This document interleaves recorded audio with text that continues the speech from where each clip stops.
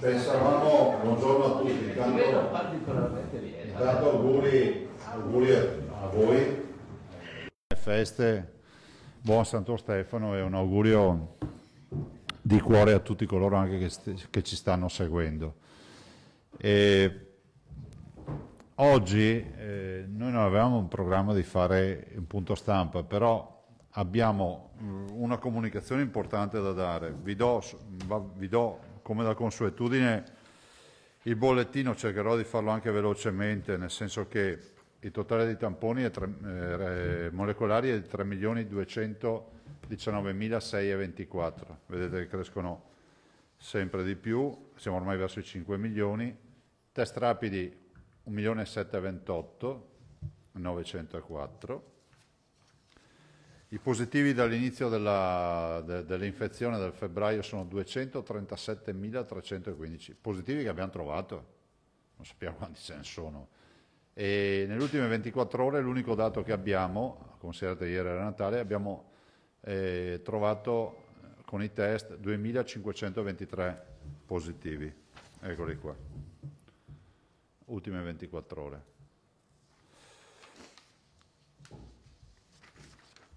Positivi di oggi sono 88.842 in Veneto. Totale di ricoverati 3.275. 3.275 ricoverati, così suddivisi. 3,89 in terapia intensiva più 5, 2.886 meno 22. Totale dei morti 5.986 più 33. I dimessi sono oltre 10.000.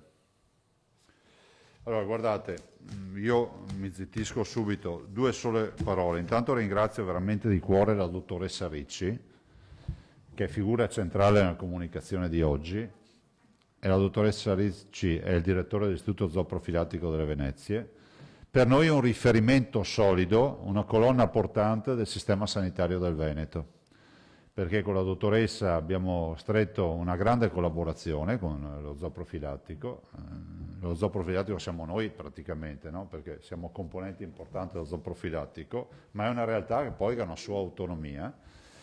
E ringrazio non solo lei, ma anche i tantissimi collaboratori che ha, e un particolare saluto ai giovani che si sono messi a disposizione, perché quando tu ricevi, ho il telefonino, fosse incenerito se non fosse così, alle 23.59 della vigilia, cioè un minuto prima del Natale, abbiamo trovato il virus inglese, dico che questi signori sono da premiare e da ringraziare perché erano in laboratorio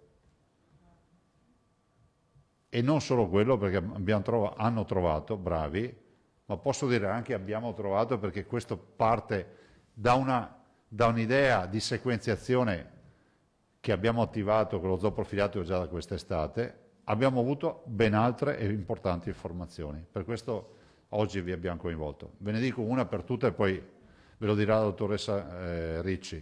Una, ve ne dico una per tutti, abbiamo scientificamente dimostrato che il virus estivo non c'entrava niente né con quello della prima fase né con quello che abbiamo adesso. Quindi aveva ragione Rigoli che lo diceva sempre quando tutti dicevano che avevamo le feste e la libertà estiva ha, ha diffuso il contagio. Il contagio di oggi, dai dati che c'è dalla dottoressa, non è con la mutazione che avevamo quest'estate. Quest'estate fa così, puff, e, e chiude, poi inizia inizia a ballare la turbolenza in volo con una nuova mutazione dall'autunno ad oggi. Ma ci sono altre notizie in più che ve le dirà lei. Penso sia doveroso lasciare la parola alla dottoressa Ricci che darà informazioni uniche e che potranno dare anche spiegazioni, per quanto diciamo in erba ancora, primordiali, anche di, di cominciare a intravedere anche, come si può dire, qualche luce nella stanza buia rispetto all'infezione del Veneto negli ultimi due mesi. Prego. Io provvedo, Presidente. Sì, vanno, vanno seguite la dottoressa così. Sì. Bene, buongiorno a tutti, grazie mille Presidente di questa bellissima introduzione e davvero eh, l'Istituto Zooprofilattico delle Venezie è sicuramente parte eh, della sanità del Veneto e noi siamo molto contenti di poter dare il nostro contributo. Eh, come direttore generale io oggi sono il portavoce eh, di un gruppo di lavoro, ci tengo a citare il dottor Terregino e la dottoressa Monne e il loro gruppo di ricercatori che sono appunto coloro che la vigilia di Natale stavano in laboratorio Terregino e Isabella Monne. Monne. Calogero, bravi, ormai già lo conoscete. È venuto qui con me la volta scorsa. E, dicevo, con i, con i, loro ricercatori, appunto, erano la vigilia di Natale in laboratorio a caratterizzare i virus che abbiamo ricevuto eh, per cercare questa famosa variante inglese che tanto preoccupa eh, le autorità di tutta Europa. Eh, tutto il lavoro che facciamo è sempre in stretta collaborazione con l'Istituto Superiore di Sanità, con eh, I colleghi siamo allineati per quanto riguarda le metodiche eh, che utilizziamo e i risultati eh, che troviamo, anche questo è eh, importante eh, da considerare. Eh, il lavoro che vi presento oggi deriva da un progetto della Regione Veneto, un progetto a mio modo di vedere molto lungimirante, che è nato già insomma, un paio di mesi fa, eh, e che ha proprio l'obiettivo di caratterizzare tramite sequenziamento i virus isolati eh, in Veneto. Eh, perché noi, perché l'Istituto Zooprofilattico ha avuto il compito eh, di fare questo lavoro? Eh, perché il nostro gruppo di virologia è anche, fra l'altro, centro di referenza europeo per l'influenza aviaria e il nostro lavoro è proprio quello di seguire i virus in corso di epidemia. Lo facciamo appunto con l'influenza aviaria e con tanti altri virus animali ma credo che insomma, questa pandemia ci abbia insegnato che un virus è un virus, che stia negli animali o che stia nell'uomo, non cambia molto e sicuramente abbiamo delle competenze molto solide proprio nel tracciamento dei virus in corso di epidemia. Allora, eh, quelli che vi do oggi sono i primissimi risultati di questo studio e insomma sarà per me un piacere poi tenervi aggiornati man mano eh, sui risultati che avremo nei prossimi giorni e nelle prossime settimane. Allora, innanzitutto abbiamo caratterizzato 37 virus inizialmente isolati in Veneto nel mese di novembre eh, e in questi primi virus non abbiamo trovato la variante inglese, ma abbiamo trovato otto diverse varianti del virus SARS-CoV-2. Due di queste varianti non sono ad oggi ancora state trovate in Italia, quindi potrebbero essere caratteristiche del nostro territorio. E poi vi darò eh, qualche informazione in più, la maggior parte di questi virus appartengono a una variante che c'è anche in Italia e anche in altri paesi europei, caratterizzata da una mutazione sulla famosa proteina spike che ormai credo conosciate tutti, che rende questa, varia- eh, questa, variante più diffusiva, più contagiosa. Dopo vi farò vedere un grafico che spiega bene l'andamento di questi diversi tipi di virus. Dopodiché, proprio invece in questi ultimissimi giorni, abbiamo ricevuto cinque campioni eh, da pazienti che avevano avuto un collegamento con il Regno Unito e che quindi erano sospetti di poter essere veicoli della famosa variante inglese. Allora, abbiamo eh, messo a punto, e ancora grazie al lavoro eh, dei ragazzi in laboratorio, una metodica rapida che permette di caratterizzare proprio le mutazioni tipiche sulla proteina spike della variante inglese. Quindi non ha... Sì?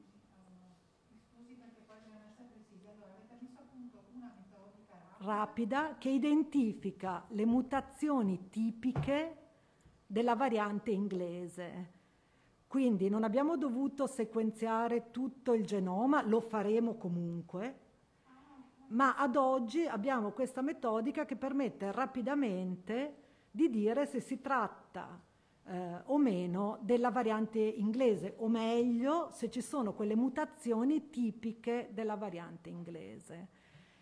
E di questi cinque campioni, tre sono risultati positivi, due della provincia di Treviso e uno della provincia di Vicenza, ma poi i colleghi, la dottoressa Russo e il dottor Rigoli, vi daranno informazioni sui pazienti perché ovviamente noi guardiamo i virus e, e ci limitiamo eh, a quello.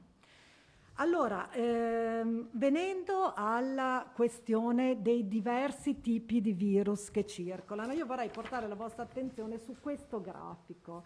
In questo grafico voi vedete due parti. Queste sono le diverse varianti di virus SARS-CoV-2 isolate in Italia durante tutta l'epidemia e questa è la stessa informazione data per i virus veneti.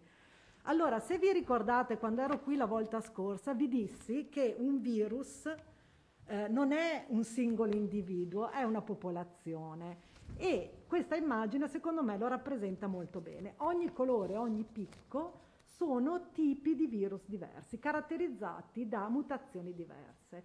Allora, la prima questione molto evidente è che i virus della prima ondata, quali vedete in violetto, azzurrino e verde, sono diversi da quelli della seconda ondata.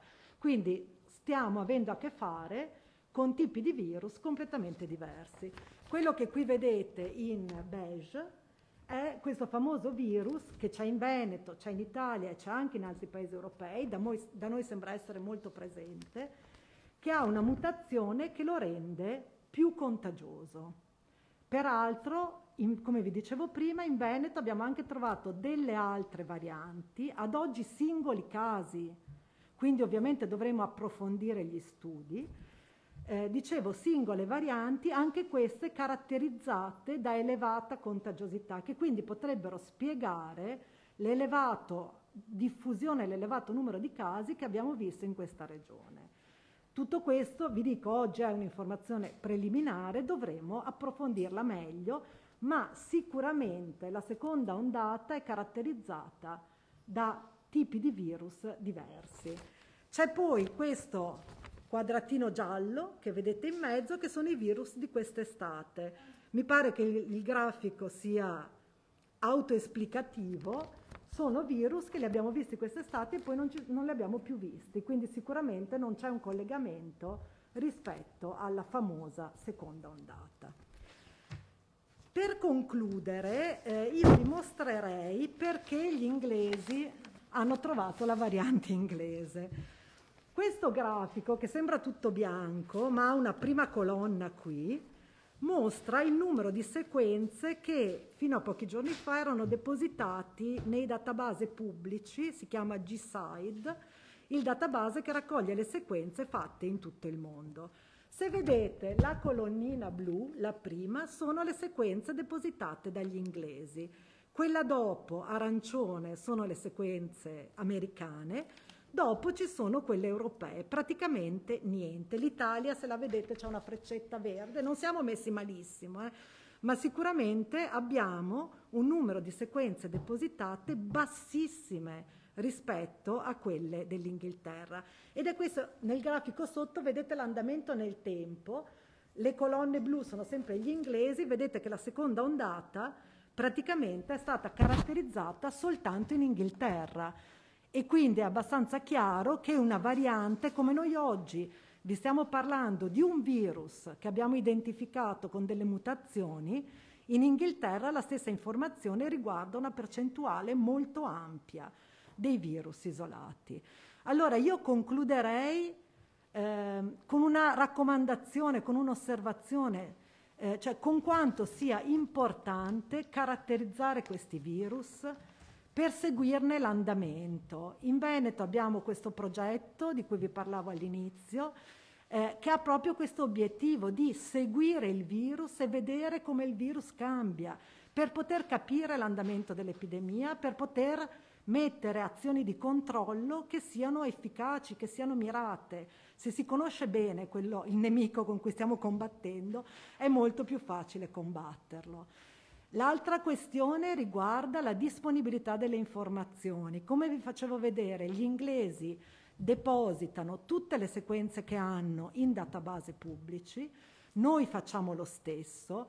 Devo dire che in Italia la maggior parte delle sequenze depositate sono degli istituti zooprofilattici, che sono una ricchezza sul territorio nazionale, sono diffusi in tutta Italia, sono dieci gli istituti a livello nazionale stanno tutti sequenziando e tutti mettono a disposizione le informazioni. Questo è fondamentale. In un evento così drammatico come la pandemia da Covid non si possono tenere le informazioni nei cassetti, magari per pubblicarle successivamente. È fondamentale mettere a disposizione l'informazione immediatamente in database pubblici che siano accessibili a tutti. Ed è questo il motivo per cui eh, vi do queste informazioni oggi, anche se sono informazioni preliminari, ma riteniamo, assieme al Presidente e assieme ai suoi collaboratori, che sia fondamentale dare subito le informazioni e metterle a disposizione di tutti. Io, Io ringrazio, dopo ovviamente la dottoressa è a disposizione per le domande, finiamo un breve giro di interventi. La ringrazio perché avete capito la strepitosa notizia che volevamo dare della scoperta che è stata fatta dei due virus, in, dei, dei, tre campioni con eh, virus variante inglese, ma poi di tutto quello che è rappresentato da queste mutazioni che sono venete, quindi approfondiremo ancora di più. Passerei la parola al dottor Rigoli, ci scambiamo i posti e dopo... Grazie. Parto con una considerazione. Ancora una volta o si lavora di squadra oppure non si va da nessuna parte. Questo l'ha dimostrato il gruppo che abbiamo messo insieme quest'estate con l'Istituto Zooprofilattico. Ringrazio Antonia, che è una cara amica da tanti anni, e la ringrazio perché vorrei ricordare che quando siamo andati all'ex caserma Serena a fare i tamponi, ha mandato anche uno dei suoi ragazzi, che se vuoi ricordare il nome... Francesco perché, Bonfante. Ecco, è venuto con noi e, e ha fatto il lavoro. Quindi diciamo che quest'estate non abbiamo dormito, abbiamo fatto questo progetto, ci siamo sentiti frequentemente, è stato scritto e abbiamo ulteriormente compattato le fila. Ecco, questo è... Ehm, l'altra considerazione che faccio è questa, che la clinica è sempre importantissima anche nei corsi di infezioni epidemiche, perché quello che avevamo visto quest'estate, che l'abbiamo detto più volte, poi si sta confermando, adesso vedremo, sequenzieremo eh, ulteriormente i campioni. Tenete conto che noi abbiamo ottenuto tutti i campioni e abbiamo fatto un eh, progetto quest'estate, scritto, eh, pianificato, eh, di modo che i campioni arrivano, li abbiamo già inviati all'istituto per ogni mese a partire da febbraio. Quindi dentro ci sarà lo studio di tutti, andremo a vedere ulteriormente con dati ancora più pesanti eh, questa cosa. E l'altra cosa importante che vi dico è questa. Tutti i pazienti che sono stati eh, identificati dalla, eh, dall'Antonia per quanto riguarda la variante mh, inglese hanno fatto l'antigenico e l'antigenico è risultato positivo per tutti i pazienti. Quindi il test rapido antigenico ha funzionato anche per la variante eh, inglese. D'altra parte ricordo che questi test vanno a cercare la proteina N e non la proteina spike. Ehm, ecco, io eh, mi limito a questo, poi dopo magari eh, lascio eh, le, le, domande. Eh, diciamo così che quello che abbiamo eh, messo in piedi servirà moltissimo a livello italiano e anche a livello internazionale e, ehm, la filosofia nostra è sempre quella di mettere in trasparenza i dati. Appena abbiamo avuto i dati li abbiamo uh, messi in trasparenza e penso che dobbiamo continuare così. Grazie.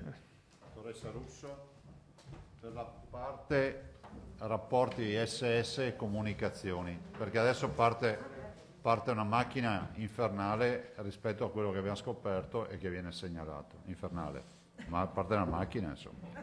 Diciamo, buongiorno a tutti, scusate. Buongiorno a tutti. Eh, sì, mi, mm, faccio un intervento molto veloce. Come dice il Presidente, è chiaro che noi siamo, come ha detto anche la dottoressa Ricci, siamo in collegamento col Ministero e con l'Istituto. Uno, perché la banca dati di che eh, ha l'IZS è anche in condivisione con l'Istituto Superiore di Sanità e pertanto tutto viene pubblicato. Ma accanto a questo c'è un sistema di notifica di quelle che sono le eh, diciamo, individuazioni di positivi e di, eh, nel caso specifico di questa variante, di queste mutazioni, che noi come sanità pubblica dobbiamo comunicare sia al Ministero che all'Istituto. Quindi io ho preparato una nota che abbiamo già fatto partire dove noi riportiamo che abbiamo individuato la nuova variante, questa del Regno Unito, in tre soggetti che sono rientrati dal Regno Unito sono due uomini e una donna, eh, scusate, due donne e un uomo provenienti appunto dal Regno Unito in questi giorni e che stanno insomma bene, c'è solo una persona che ha la febbre, abbiamo un caso secondario, quindi che adesso, che comunque insomma sta, anche questo sta benino, che eh, sequenzieremo per vedere se si tratta praticamente dello stesso virus. Per, Tre, le, no, tre sono con variante, il quarto non sappiamo, ecco, in un contatto stretto, naturalmente familiare. Quindi è stata fatta l'indagine epidemiologica, come per tutti gli altri casi, sono stati messi i soggetti positivi in isolamento e tutti i contatti stretti in quarantena. Quindi i dipartimenti coinvolti, che sono quello di Treviso e quello di Vicenza, stanno, hanno mappato tutti i contatti e quindi sono seguiti in maniera molto molto precisa. Queste comunicazioni le abbiamo mandate al Ministero e all'Istituto e naturalmente manderemo all'Istituto tutti quelli che saranno gli aggiornamenti. Per quanto riguarda invece il report legato ai 37, eh, alle 37 sequenziazioni che sono state fatte, anche queste abbiamo allegato il report che ci ha mandato l'IZS l'abbiamo mandato all'Istituto perché il messaggio di, questa, diciamo, di questo riscontro e di queste mutazioni che risultano, potrebbero essere collegate e, e, potrebbe essere la spiegazione di questo elevato numero di casi che abbiamo in Veneto, per noi è molto importante. Come diceva il Presidente, il messaggio è che abbiamo a che fare con un virus che risulta essere molto più contagioso e quindi la nostra responsabilizzazione e il nostro comportamento è molto importante al di là di tutto quello che possiamo fare noi, ma penso che il direttore, il dottor Flor, dopo ne parlerà. Ecco, queste erano le cose Grazie, che volevo dire. Dottor Flor, prego.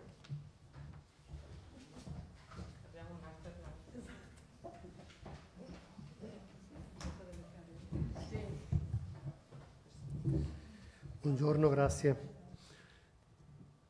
Mi sembra che quello che emerge oggi eh, e che è stato detto in termini molto chiari sia che noi non ci preoccupiamo solo di essere puntuali e tempestivi nelle risposte nei nostri ospedali e per i nostri malati, che ricordo stiamo continuando a dare e stiamo anche testimoniando con grande puntualità tutti i giorni qual è l'andamento vero della malattia del nostro della nostra regione. Se avete guardato con attenzione i dati, voi vedete che noi abbiamo una situazione di un numero molto elevato di non terapia intensiva rispetto alle terapie intensive. E questo anche se ricordiamo rispetto alla prima eh, ondata. Oggi abbiamo la spiegazione, è un virus diverso. E questa non ce l'avevamo mai avuta, non, cioè, fare supposizioni è facile, dare dati è, è, diverso ed è comunque una responsabilità che la Regione Veneto si è assunta, perché ha reso immediatamente pubblico quello che è l'esito di indagini e di ricerche molto sofisticate che mi viene da dire, e la tabella ce l'avete, nel mondo ha fatto solo l'Inghilterra. Chissà perché, queste cose gli altri non ce le dicono. Noi appena abbiamo saputo e abbiamo avuto questa informazione l'abbiamo resa pubblica e lo stiamo facendo oggi. Questo ci dà ragione della diversa gravità della malattia che abbiamo visto nel tempo, di che cosa è accaduto quest'estate e ci dice anche che questa ondata è particolarmente epidemica. E guardate, noi possiamo adottare tutti i provvedimenti che vogliamo, da quelli molto tradizionali che mi viene da dire della preistoria, che sono la quarantena, a quelli molto moderni che sono questi, di studiare esattamente le caratteristiche del virus per capire come si comporta e cosa possiamo fare, ma nessuna delle due cose, né la quarantena, né lo studio molto sofisticato che stiamo portando avanti, può sostituire il comportamento individuale. Io questo ve lo dirò ogni volta che ci vediamo. Non siamo abbastanza rigorosi nei comportamenti individuali e questo vale per tutti. Se volete una osservazione che possiamo fare, la frequenza degli ammalati e dei contagiati nel personale sanitario che assiste i malati di coronavirus è più bassa della frequenza nella popolazione. Allora voi capite che qui il comportamento, la difesa, il tenersi assolutamente controllati anche nelle proprie abitazioni e anche quando andiamo in giro, è quello che fa la differenza. Perché se chi assiste i malati in rianimazione si ammala meno della popolazione generale, la risposta è una sola. Stanno molto, molto, molto attenti. Cosa che in giro non facciamo. Io continuo a vedere purtroppo gente che in giro non è rispettoso né di se stesso e tantomeno degli altri. Quindi noi continueremo con la nostra azione di rendere conto con grande trasparenza, di darvi anche notizia di quello che apprendiamo in tempo reale, perché quello che noi abbiamo capito oggi ci fa muoverci in una certa direzione e farà muovere tutta la nostra organizzazione in una certa direzione e utilizzeremo questi dati. È arrivato un invito forte a rendere pubblici tutti i dati che si sono, perché facendo massa critica e mettendo insieme le informazioni, forse noi combatteremo il virus tutti insieme perché una pandemia mondiale non la può combattere un solo ospedale o una sola regione. Abbiamo bisogno di tutti. Pertanto mi fermo, grazie. Grazie, grazie dottor Flor. Cederei eh, nuovamente la, la, la, postazione alla dottoressa Ricci per le domande, prego. Penso che ce ne siano. Allora, Tosatto, Nicolussi, Vanzan, Prigioni prima della Moscato. Eh, buongiorno, buongiorno dottoressa. Buongiorno. Intanto, insomma, complimenti e congratulazioni per la vostra scoperta, che ci ha lasciato un po' tutti a, a bocca aperta, devo dire. È chiaro che non dormivamo. No, no. Ehm, no. Infatti le nostre, le nostre malcelate imprecazioni verso il Presidente che ci ha convocati a Santo Stefano, devo dire che devono cedere il passo a, a questa... Ecco, veniamo però a, alla domanda, no? Insomma, c'è una ricaduta di estremo interesse, il direttore Flor l'ha accennato, ma anche il dottor Rigoli. C'è davvero la, eh, l'ipotesi fondata che questa variante inglese, che mi pare abbia come connotazione la pervasività, quindi la forte contagiosità superiore a, a, al virus che conoscevamo. C'è davvero la, la fondata ipotesi che questa variante inglese abbia influito in termini sensibili nella diffusione del contagio. Glielo chiedo perché non più tardi di stamattina il, il direttore dell'Istituto Superiore di Sanità ha fatto notare che in Veneto c'è un RT di, eh, pari a 1,1 che è più alto d'Italia e da più parti gli scienziati eh, definiscono veramente per alcuni aspetti incomprensibile questo, questo andamento. Potrebbe essere questa la spiegazione. In questo caso la variante inglese avrebbe avuto il tempo di diffondersi in questi mesi e di condizionare il, il volume, il ventaglio dei, dei contagiati. Grazie. Allora, grazie eh, per la domanda, non semplice. Allora, ad oggi abbiamo pochissime informazioni. Penso sia chiaro a tutti che tre casi non possono essere la spiegazione di un'epidemia di questo tipo. Peraltro la variante inglese, se è arrivata in Italia, è arrivata nelle ultime settimane, quindi difficilmente giustifica andamenti precedenti, ma potrebbe effettivamente giustificare quelli più recenti. Allora è chiaro che dobbiamo approfondire le indagini, adesso abbiamo anche questo metodo rapido che ci permetterà di screenare un numero elevato eh, di campioni e capire se eh, questa variante risulta essere molto prevalente in alcune zone. Potrebbe essere, a me veniva da pensare la zona di Asolo, no? è una delle zone in cui eh, i contagi sono stati molto elevati e molto veloci e Asolo storicamente ha tantissimi collegamenti col Regno Unito. Potrebbe essere, ad oggi sono speculazioni, non abbiamo queste informazioni, però sicuramente siamo di fronte a un virus, questo della seconda ondata, caratterizzato da un'elevata contagiosità. Oltre alla variante inglese studieremo altre varianti, magari ancora più tipiche del nostro territorio, che anch'esse potrebbero giustificare questi andamenti. Oggi sono solo idee, sono primi spunti di riflessione, ma vi assicuro che rapidamente avremo delle informazioni su cui invece basare proprio dei ragionamenti eh, reali su questi andamenti. Se posso chiedere un'altra... Eh, questi pazienti, mh, mm, questi mh, mm, diciamo 3 più 1, no? 3 nei quali è stata accertata la variante, poi c'è questo caso secondario che è ancora sub iudice. In che condizioni sono? Cioè come stanno? Questo lascia la parola. Son, cioè nel senso che sono stati ricoverati, stanno sono stati bene. dimessi. Sono a bene. casa, eh, hanno un po' di febbre.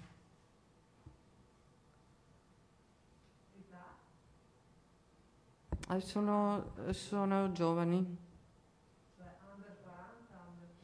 Under 40. Tranne uno. Due sono insomma abbastanza giovani sono, studi- cioè, insomma, sono giovani, e mentre uno è poco più che quarantenne. Ecco. Il contatto invece? Mm, era per capire un po' se mm, relativamente a questi pazienti un pochino come avete ricostruito la, la catena di contatti. Questi sono, sono tornati dalla Gran Bretagna, Vedo che non mi hai ascoltato. no, no, no, no. Zero. No, no, no, no.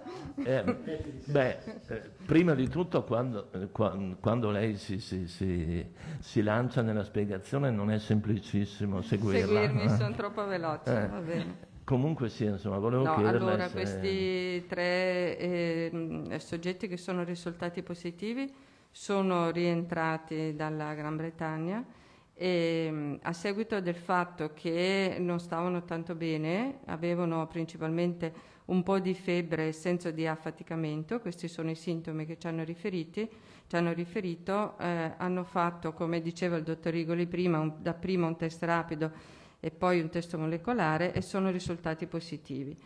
E I loro tamponi sono stati subito sequenziati, come abbiamo detto, e sono praticamente è stata individuata questa variante.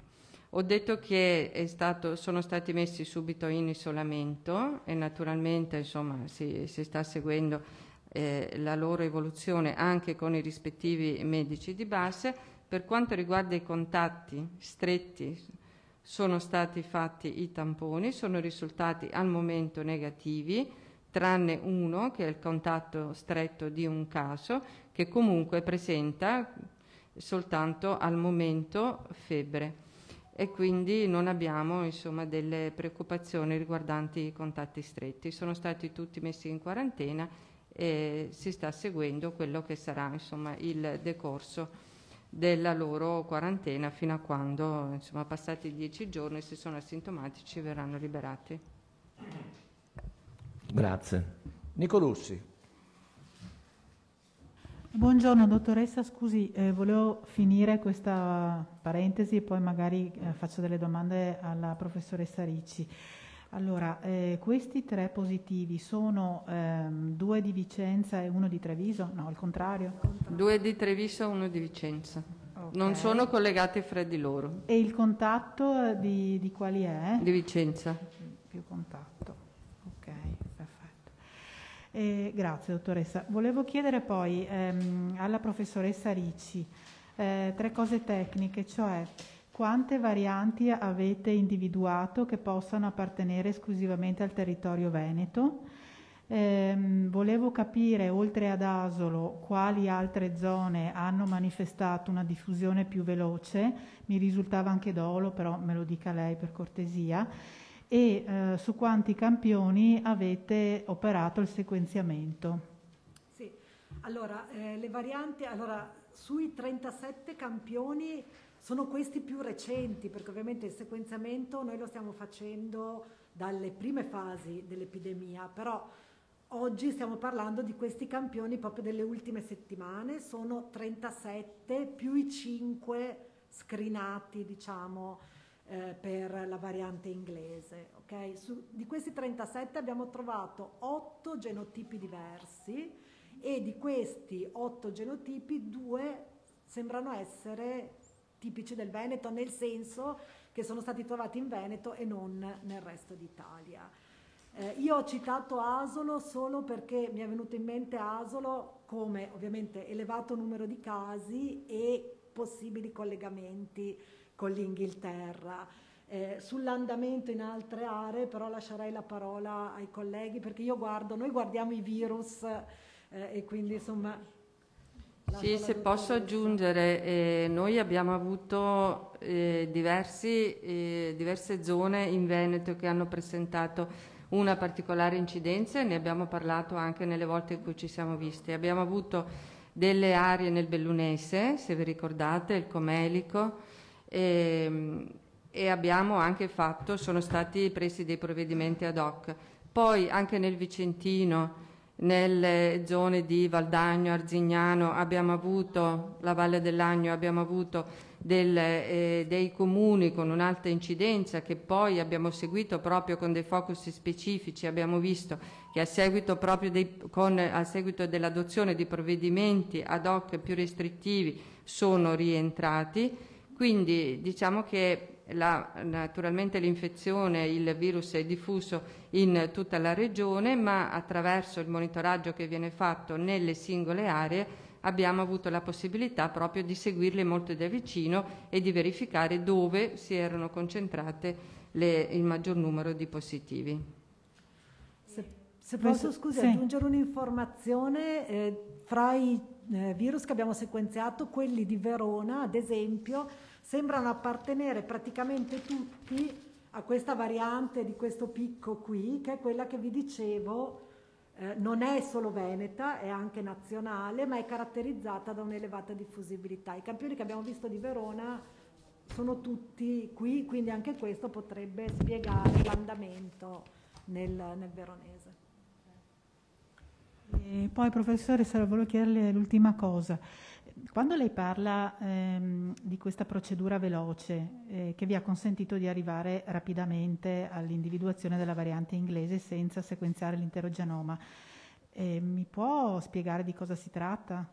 Sì, allora non vado nel dettaglio perché non è propriamente il mio mestiere, vi ho dato anche i riferimenti dei colleghi che vi possono spiegare tutto eh, in modo preciso. Comunque, siccome sono state pubblicate le mutazioni che caratterizzano la variante inglese, noi abbiamo messo a punto dei test mirati delle PCR che vanno a eh, identificare proprio il tratto genetico caratterizzato dalle mutazioni tipiche, dopodiché andiamo a sequenziare solo il pezzettino in cui ci aspettiamo di trovare la mutazione, quindi la procedura è molto più veloce, anche se per avere la conferma al 100% ovviamente deve essere sequenziato tutto il virus, cosa che stiamo facendo in questi giorni.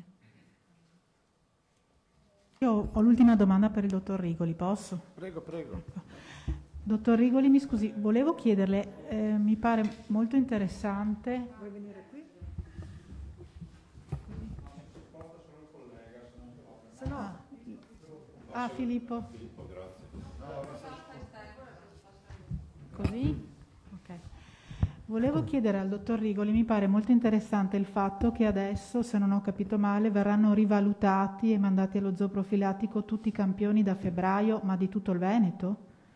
Assolutamente o quelli sospetti? Sì. Quest'estate noi abbiamo fatto un progetto per cui vengono mandati i campioni a partire da febbraio di tutte le ULS per essere sequenziati. Una parte ovviamente una, un campione. Questo, Quanti più o meno? Quanti ne, ne avevamo fatto? Avevamo, adesso non mi ricordo nel dettaglio, ma avevamo considerato ad esempio una decina al mese per ogni ASL per fare questo monitoraggio di base, in modo ovviamente se il campione è rappresentativo eh, dei positivi circolanti, abbiamo un'idea di base di cosa stava succedendo da febbraio. 10 per ULS al mese sono, sono molti.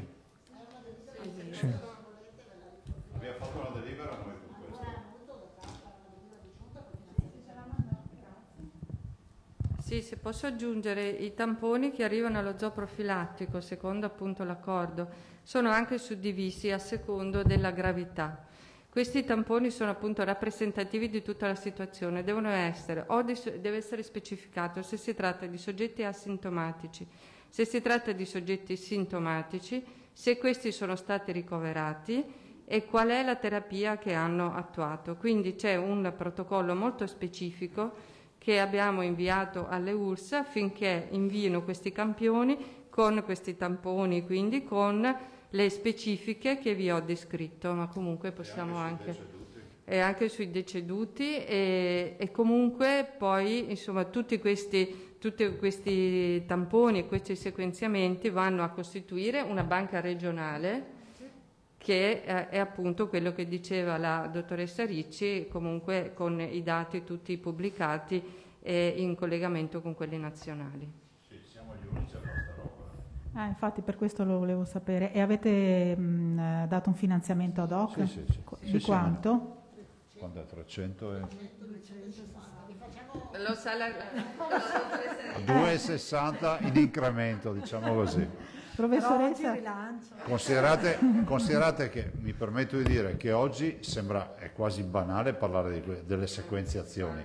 Noi ci siamo mossi quando il mondo non, non stava neanche pensando a queste robe.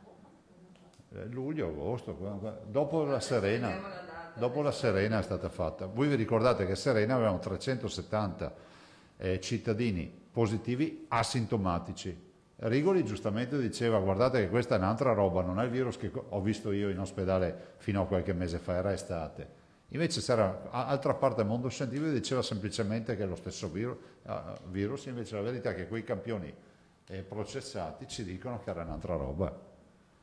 E non è una roba da poco. Eh. Grazie. Allora, Ranzan e poi Prigioni.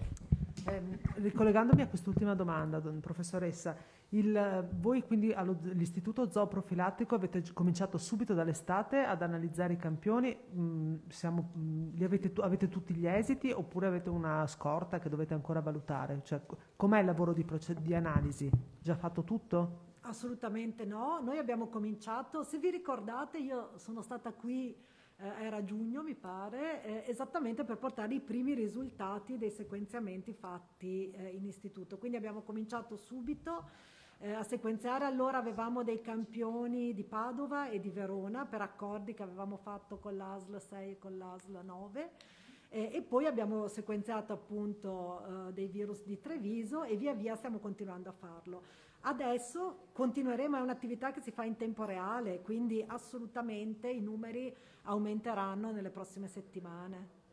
L'altra domanda che le rivolgo, professoressa, riguarda i grafici che lei ci ha mostrato, eh, questo italiano e que- il secondo veneto, con queste piramidi che sono veramente diverse l'una dall'altra. Cioè, sembra che nella prima fase nel resto d'Italia ci sia stato, mi riferisco alla curva rosa, un picco molto più alto che da noi in Veneto è stato più basso mentre invece nel periodo fine estate, la, la piramide, chiamiamola piramide sì. azteca quasi perché senza punta, quella di fine estate l'abbiamo avuta solo noi eh, qui in Veneto e analogamente adesso quest'ultima eh, arancione. Lei come si spiega il fatto che qui in Veneto abbiamo avuto dei casi più elevati dal punto di vista quantitativo e, e, e che alcuni eh, tipi di, di, di virus ci, non ci siano stati, ad esempio quello marroncino di giugno noi non avevamo nulla. Sì. Allora, davvero grazie per questa domanda perché mi permette di chiarire una cosa estremamente importante che vi prego di notare. Eh, questi due grafici hanno assi diversi, ok? Perché ovviamente eh, quello nazionale è, ha come asse centinaia di sequenziamenti, quello veneto sono decine ovviamente. Quindi attenzione, non fate confronti fra l'altezza di una punta e l'altezza dell'altra perché i numeri sono diversi. Quello che si può vedere qui è la differenza nei colori e all'interno del grafico nazionale e del grafico veneto la relazione fra un tipo e l'altro di virus. Quindi l'andamento non è così diverso, cioè anche in Italia il verde è più piccolo e il marrone è più alto, in Veneto lo stesso, ok? Sicuramente è vero, questa gialla da noi è ben evidente, eh, a livello italiano meno. Allora, le spiegazioni quali possono essere? Eh, la prima e più importante, pochi sequenziamenti, mi dispiace doverlo ripetere, ma è ovvio che se pensate ai numeri che diciamo tutti i giorni, migliaia di casi, i sequenziamenti riguardano poche centinaia, quindi noi potremmo aver identificato col sequenziamento solo alcune tipologie di virus, ma questa immagine potrebbe essere non completamente realistica, ok? Quindi c'è un difetto legato al num- alla numerosità. Eh, e poi sicuramente il virus cambia, le mutazioni sono molto frequenti e a livello dei singoli territori si possono creare delle varianti specifiche.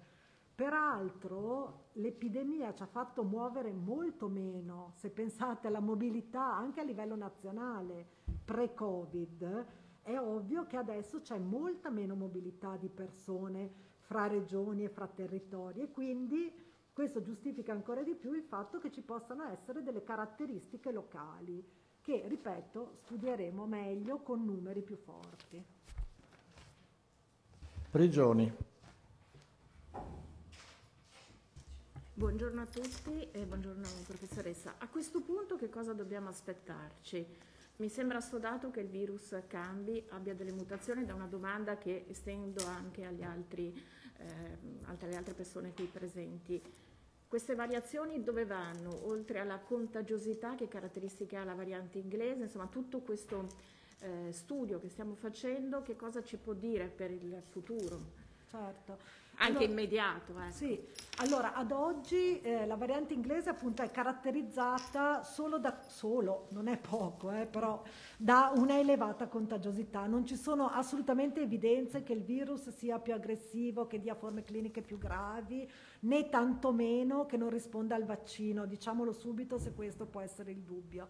Eh, non è così, l'unica caratteristica è che lì, la, il contagio, l'infezione corre più velocemente perché il virus ha delle mutazioni che gli permettono di entrare più facilmente nelle cellule dell'ospite, quindi si diffonde più facilmente. Cosa ci dobbiamo aspettare? Che se queste varianti prendono il sopravvento, il virus diventa più contagioso e quindi tutte le misure di contenimento che sono quelle individuali, ricordiamolo, mascherina, distanziamento, devono essere sempre più importanti perché di fronte a un virus che passa ancora più facilmente, le misure di controllo diventano essenziali. Dopodiché il vaccino farà il suo lavoro, ridurrà la pressione infettante, noi dovremo continuare a monitorare l'andamento di queste varianti per vedere cosa succede sul territorio. Grazie. Moscati. Sì, buongiorno a tutti. Ecco, ehm, naturalmente volevo fare proprio questa domanda, ma la riformulo proprio di base parliamo sempre di contagiosità, però la gente mi dice ma cosa vuol dire? Non so, il virus è più piccolo, passa attraverso la mascherina, e sta più vivo nelle superfici, cioè proprio tecnicamente quello che stava un attimino dicendo in sì. questo momento, se può spiegarlo un po' più dettagliatamente. Grazie. Certo. Allora, come avviene l'infezione? Allora, perché l'infezione avvenga, il virus deve entrare in contatto con l'ospite, questo è banale, ok? Quindi la prima cosa è che noi dobbiamo entrare in contatto con un virus. Ma questo non vuol dire infettarsi, vuol dire solo entrare in contatto col virus. A seconda del tipo di virus, della carica virale e dello stato dell'ospite, questo contatto diventa infezione. Okay? È il motivo per cui non è che tutti quelli che vengono in contatto con una persona positiva diventano positivi. Di questa l'infezione dipende da vari fattori, ok? Quindi la carica, la quantità di virus, il tipo di virus e lo stato dell'ospite. In questo caso uno di questi fattori è modificato, il tipo di virus, è un virus che più facilmente entra nelle cellule e dà infezione, per cui la probabilità di infettarsi quando si entra in contatto col virus è più alta, non è assoluta, neanche in questo caso. Non vuol dire che se entriamo in contatto con questa nuova variante ci infetteremo di sicuro, ma ci infetteremo più probabilmente che non se entriamo in contatto con un altro virus. Capisco che sono concetti un po' complicati. È un po', è un ma... po complicato, però ehm, lei ha anche detto dipende dallo stato della persona. Certo. Per cui praticamente l'infezione, un po' come può essere una qualsiasi altra infezione, chi se la prende e chi invece il corpo reagisce. Certo. È corretto questo? Sì.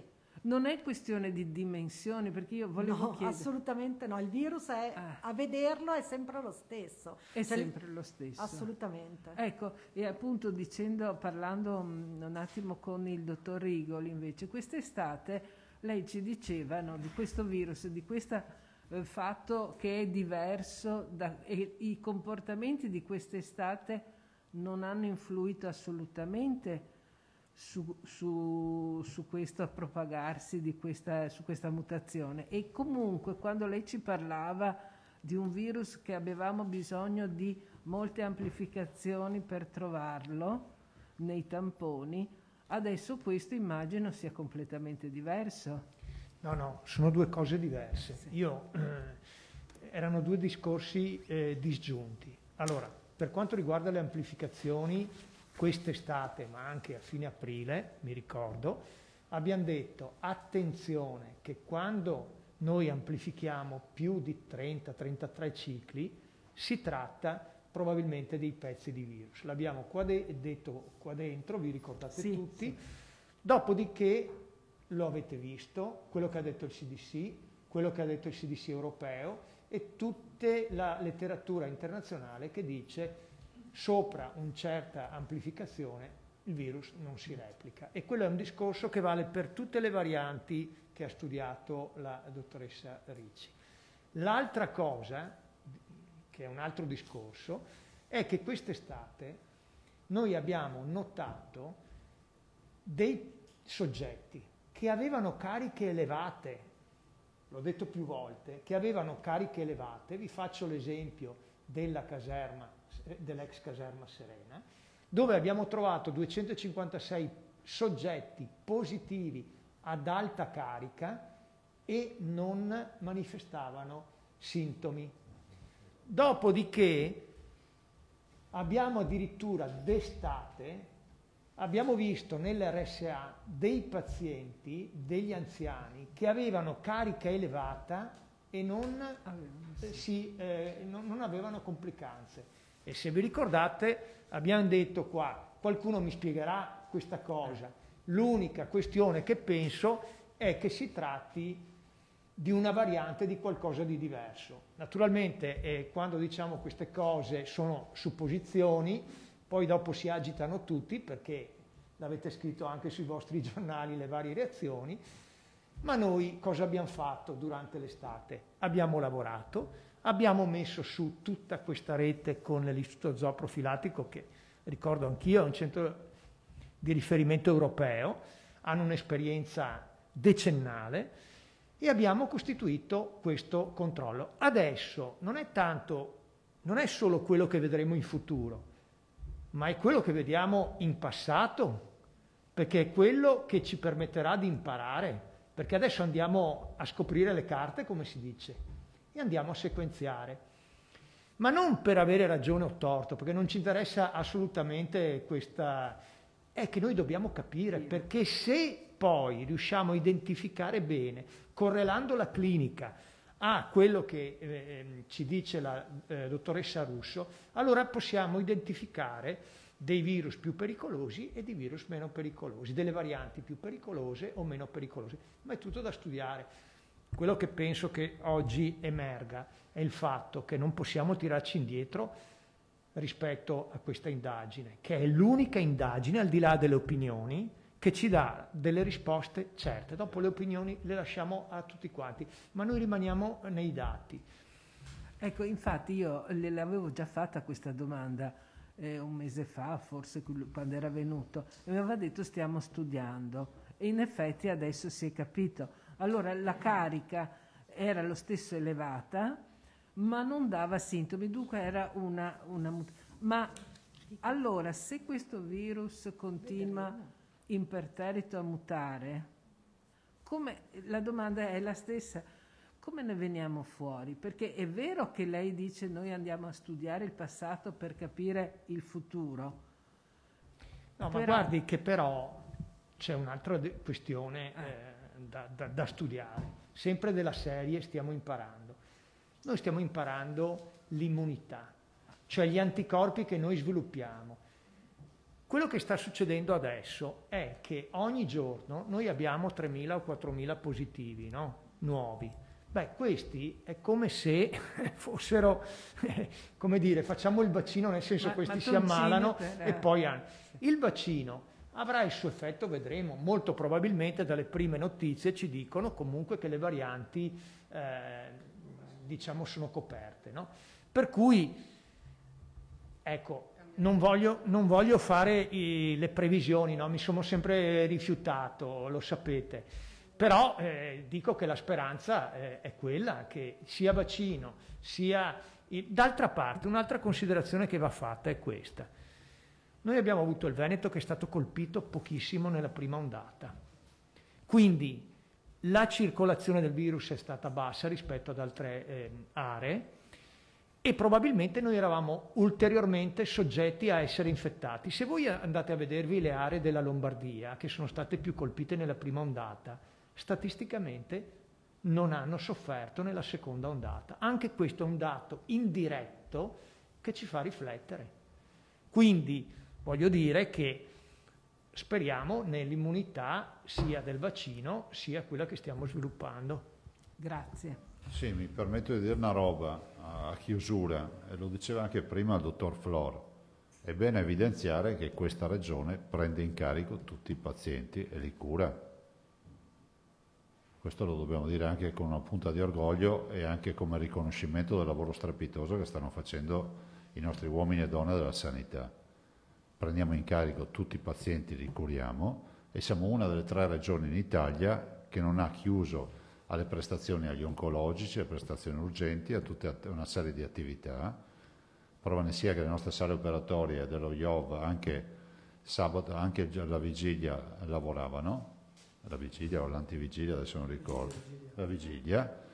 Prova ne sia che oltre ai 3.400 pazienti Covid noi abbiamo in carico almeno, quando va male o bene, 7.000 pazienti non Covid perché a me va bene tutto, ma non riconoscere che questa regione, un giorno qualcuno ha detto ma eh, Verona è come Bergamo, no, ma per un semplice motivo, che stiamo ricoverando e curando tutti.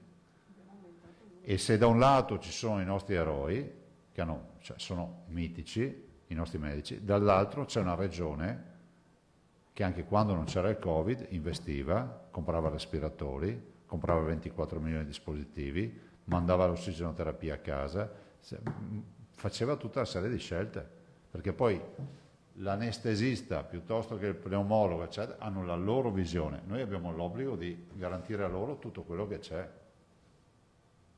A Cesare quel che è di Cesare. E ancora un Tosato, ah, un Nicolussi e un Avanzà. Eh, dunque, mh, mm, per, mh, se la variante inglese, chiamiamola così, ehm, si è detto, eh, ha caratteristiche di maggiore per- pervasività, cioè più contagiosa, e quindi costituisce, almeno nelle premesse, almeno nelle ipotesi, una minaccia maggiore, una minaccia in più rispetto a quello che pensavamo. Ecco, ci sono delle, im, delle ricadute immediate sul, sul, piano clinico, sul piano del ricovero, sul piano delle cure, sul piano de, della profilassi. Prima il dottor Flor ha tirato le orecchie a chi trascura le regole, le regole di prudenza, le regole di sicurezza, ma insomma eh, si, questo lo chiedo anche al Presidente Zaia, immagina una, so, un irrigidimento per quanto riguarda gli attesamenti, i comportamenti? No, guardate, cioè, eh, guardiamo in faccia la realtà. Il virus è il nostro nemico ignoto, no? sconosciuto anche per certi aspetti. le cose che si possono fare le stiamo tutte facendo a pieno regime. E come ho sempre detto, i cittadini devono aiutarsi e aiutarci. Lo diceva anche il dottor Flor. E le regole sono sempre quelle, quelle basilari. Dopodiché l'indagine andrà avanti e capiremo che in base alla variazione, alla mutazione avremo anche dei risvolti clinici, perché dietro ad ogni tampone c'è la storia sanitaria e quindi verrà statisticamente elaborato un modello per ogni variazione, sarà che so, la, la mutazione che darà grosse polmoniti interstiziali, ce ne saranno altre invece che avranno, che so, eh, daranno magari più insufficienze respiratorie o altre partite tipo insufficienze eh, cardiache, scusate, cardiopatie o altro, insomma c'è, c'è, tutta una miriade di insufficienze renali, c'è una miriade di, di, di, risvolti per, per, il Covid, però noi andiamo avanti, come abbiamo sempre fatto. Voi sapete che io mi sono, ho sempre detto, cioè, piantiamola questa storia dalla prima fase alla seconda fase, oggi lo vedete ancora più evidente. Cioè io quando leggo siete stati bravi nella prima fase e non nella seconda, ma io dico ma in che, ma in che pianeta vivete? Cioè secondo voi cioè noi abbiamo un on-off? Allora, nella prima fase non avevamo i dispositivi, ve lo ricordate, no? Le case di riposo non ce li avevano. Nella prima fase non facevamo testing, facevamo 2000 tamponi al giorno. Le case di riposo hanno avuto i primi pungidito arrivati in Italia, li abbiamo presi noi, 100.000 pungidito, contro, contro tutte le regole, ma avevamo almeno quelli. Nella prima fase non avevamo una diagnostica come quella di oggi, le case di riposo oggi fanno un tampone in quattro giorni. Nella prima fase le case di riposo, il 75% delle case di riposo non ha neanche visto il virus, oggi c'è dappertutto. E vuol dire che è cambiato qualcosa, siccome gli uomini e le donne della sanità sono quelli di prima, con più di prima, abbiamo assunto 1200 medici, di cosa stiamo parlando?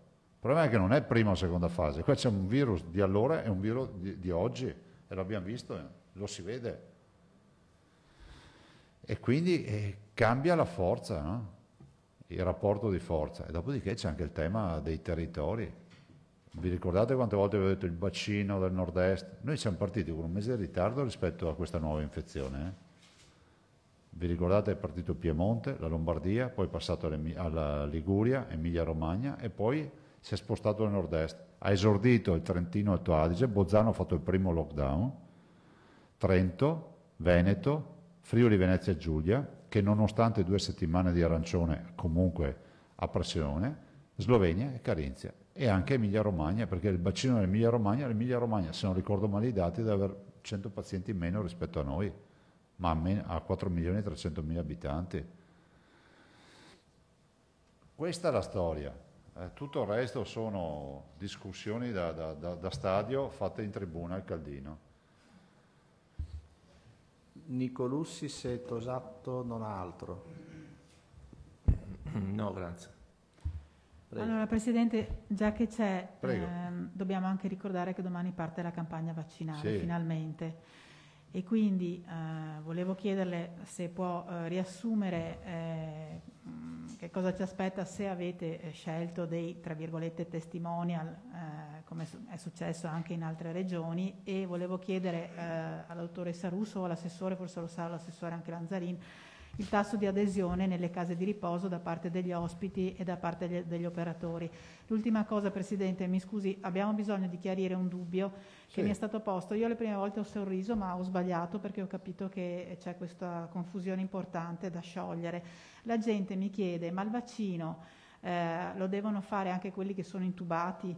Ecco, per cortesia potete spiegare che è un vaccino non curativo ma preventivo? Sì, Grazie. sì diciamo che il vaccino previene, eh, previene l'infezione, no? previene la malattia, però come diceva giustamente il professor Palù l'altro giorno, dice anche, è anche disinfettante, cioè evita, sembra, sembra eviti il, il contagio. Allora, eh, detto questo, io vi posso dire solo una cosa, che i vaccini, poi passerei la parola all'assessore, alla dottoressa Russo, decidete voi. I vaccini arrivano a mezzogiorno, giusto? Domani. Alle 8 domani mattina a Padova. Sì, alle 8 e quindi noi da mezzogiorno più o meno inizieremo a vaccinare. E sono 875 dosi, quindi è una giornata di vaccinazione europea simbolica. Dopodiché sembra che, e poi la dottoressa Russo vi darà altre notizie, e io spero arrivino poi in maniera copiosa le dosi. Ecco, anche qui, siccome la, la, la, c'è sempre polemica su tutto, allora diamo un po' di materiale anche a quelli che, che hanno tanto tempo. Noi abbiamo comprato le siringhe, ma lo sappiamo che ci davano i vaccini con le siringhe, porca miseria. Lo sappiamo, c'è scritto dappertutto. Ma siccome poi se manca le siringhe è sempre colpa di Zaia, io ho fatto comprare anche le siringhe. Quindi avremo un contingente di siringhe. Eh, quante ne avete comprate? Quelle che servivano. Parliamo di Adesso non lo so, non ma posso garantirti che possono arrivare le boccette senza le siringhe.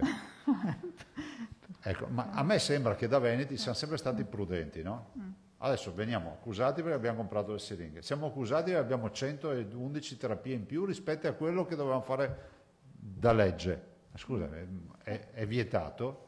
Siamo accusati perché abbiamo un magazzino che di 12 mesi di dispositivi si poteva andare cioè, noi così va bene perché io non voglio più sentir dire che manca qualcosa. Ecco. Quindi Presidente arrivano a Padova, Padova, Padova e da Padova vengono smistate in sì, tutti sì. gli ospedali. Allora, passerei la parola alla dottoressa Russo. Grazie. Io dico solo una roba dottoressa, il vaccino è volontario, tutti avranno la lettera a casa, noi siamo organizzati, ditelo, scrivetelo con orgoglio che abbiamo fatto la prima anagrafe vaccinale italiana e che l'anagrafe vaccinale nazionale si è ispirata a quella veneta e che ci sono regioni in Italia che ancora scrivono sul foglio a penna, non hanno neanche l'anagrafe vaccinale.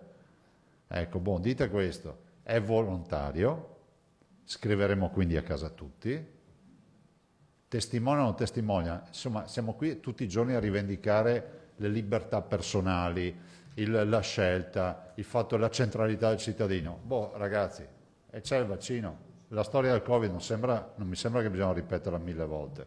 Ognuno deciderà cosa fare. Se no succede come con le azioni Veneto Banca, ve la racconto ancora. Sono andato all'assemblea di Veneto, no perché, cioè, scusatemi, eh, Santo Stefano lasciatemelo dire, sono andato all'assemblea di Veneto Banca, otto ore di interventi, la giornata della tragedia, io sono stato a ascoltarlo tutto, a un certo punto va su uno sul palco, l'ho già raccontata? La riconto. Va, va, un signore sul palco e dice io, io ce l'ho con Zaia, perché? Perché ho comprato le azioni e avevo letto sul giornale che anche lui ce le aveva. Il vaccino fate come volete, avete capito? Ma lo dico perché eh, deve essere una scelta responsabile. Di certo poi in ospedale nei bollettini scriveremo vaccinato, non vaccinato. Così magari cominciamo anche a capire chi si è vaccinato, anche perché dal punto di vista clinico ci serve, ci serve capire questo. Ovvio che il mondo, anche qui, apriti cielo quando l'ho detto io, è stato il primo, ci vorrà un passaporto sanitario. Garantito al limone che adesso il passaporto sanitario con la venuta vaccinazione ci sarà, perché ormai compagnie aeree lo chiedono, lo chiederanno strutture ricettive, lo chiederanno luoghi dove c'è aggregazione. Chi è che farebbe entrare mille persone in un auditorium con il dubbio che possa accadere qualcosa? Basta, dottoressa Russo, ma mi fermo. Perdoni, a proposito mm, proprio di questo, eh, forse sarebbe utile prevedere una, il rilascio di una certificazione dopo il richiamo. Cioè tutto, dottoressa Russo, è adesso mondo i vaccini. No, allora, eh, diciamo che l'altro giorno, qualche giorno fa, abbiamo anche dato tutto il materiale che spiega il nostro piano che abbiamo approvato con un provvedimento di giunta e che tu, abbiamo diciamo, dato mandato alle ULS di organizzarsi per tempo individuando tutte le sedi devo, e tutte le modalità che abbiamo eh, scritto e condiviso per attuare tutta la campagna di vaccinazione. Parte con gli operatori sanitari che cominciano domani, come abbiamo detto, e poi continua. Tutti gli operatori sanitari sono stati informati, tutto è pronto, non solo per domani, ma per quello che sarà nei prossimi giorni e nei prossimi mesi. Quindi è tutto pianificato. Ogni vaccinazione viene naturalmente registrata, seguiranno quelle che sono le prassi di ogni vaccinazione. Parlo piano perché sennò non si capisce. Ecco. Eh, e, e, naturalmente la persona avrà poi un intanto viene prenotata subito la seconda dose perché abbiamo detto che la schedula vaccinale al momento è costituita da due dosi e poi viene rilasciato un certificato di vaccinazione come sempre. Quindi tutte le vaccinazioni sono registrate e disponibili. Se poi il Ministero ci darà un format che sarà necessario per l'estero o, o, per altre situazioni, ancora non lo sappiamo, probabilmente appunto come diceva il Presidente sarà così. E tutti i soggetti possono aderire volontariamente, verranno convocati all'inizio, adesso sono gli operatori sanitari a cui è stata mandata la nota per la vaccinazione secondo una stratificazione di rischio, abbiamo spiegato, dopo quando passeremo alla vaccinazione degli ultra ottantenni e poi così via per coorte, naturalmente tutti verranno informati e convocati per la sede vaccinale che è stata prevista. Quindi questo è il nostro uh, piano. È chiaro che eh, l'unico strumento attualmente disponibile per prevenire la malattia è la vaccinazione e l'abbiamo detto, non abbiamo altre soluzioni. Molto si sta facendo per quanto riguarda la cura, ma è chiaro che eh, la cura arriva quando eh, la malattia si è già manifestata, quindi poi eh, ognuno sceglie quale può essere insomma, la misura più appropriata per eh, la propria vita insomma, e per, eh, in base alle proprie scelte e alle proprie convinzioni. Eh, dottoressa, mi scusi, il tasso di adesione del, tasso di adesione degli operatori e degli ospiti delle case di riposo qual è? Allora, per quanto riguarda gli operatori abbiamo eh, fatto una stima, al momento abbiamo una una, un'adesione, una intenzione alla vaccinazione che comunque può anche cambiare, sia in senso sia che uno si sia espresso sia che non si sia espresso. Poiché viene eh, invitato, poi decide se presentarsi o meno. Nel momento in cui si presenta abbiamo un'adesione che è oltre il 90%, adesso poi vedremo. Per quanto riguarda le strutture residenziali abbiamo fatto un incontro anche con l'assessore, naturalmente l'attenzione è molto alta, non abbiamo avuto, al contrario risponderei, eh, una sensazione o una stima di opposizione alla vaccinazione, quindi noi pensiamo che insomma, tutti potranno usufruire di questo. Per quanto riguarda intubati o meno, è chiaro che nel corso di una manifestazione clinica, nel corso di malattia, non è mai prevista la vaccinazione. Questo è una cosa di base. Quando è superata la malattia e quindi un soggetto è guarito, non c'è nessuna controindicazione alla vaccinazione per un soggetto che ha avuto o la positività senza, diciamo, in maniera asintomatica oppure che abbia superato la malattia. Vanza? No, basta. Ah, no, scusami Aldo. No, no, no ma è vai, detto... vai, Aldo, vai. No, ma rinunciare. No, volevo chiedere alla professoressa Ricci, in base alla sua esperienza, quello che sta succedendo con il coronavirus è normale? Sì. Allora sì, perché un virus si comporta normalmente. Eh, stavo pensando, e eh, mi fa piacere dirlo, il virus influenzale muta continuamente, cioè le mutazioni fanno proprio parte del modo in cui il virus funziona. Lui si replica e replicando fa dei piccoli errori di replicazione che sono le mutazioni. Alcuni virus lo fanno di più, alcuni di meno, quello influenzale lo fa tantissimo, così come il coronavirus. Quindi sì, è assolutamente normale per un virus nuovo che non ha una risposta immunitaria nella popolazione è normale che muti e non c'è niente di drammatico nella mutazione, è solo qualcosa che va conosciuto e seguito e, eh, ripeto, non c'è nessuna preoccupazione rispetto ad esempio alla copertura vaccinale come per il virus influenzale. Al Ma limite, quando cam- si vedranno cambiano. delle mutazioni, cambierà anche il vaccino, eh, come si fa con il vaccino dell'influenza. Signori, grazie.